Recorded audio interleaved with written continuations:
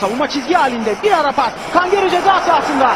Kangere ceza alanı içine maçın hakemine bakıyor ve penaltı kararı geliyor. İşaret geldi. Kangere geliyor. Vuruşunu yapıyor ve gol atıyor. İşte bu vuruşla topu ağlara gönderdi. Dördüncü golü bu sezon Kangere'nin.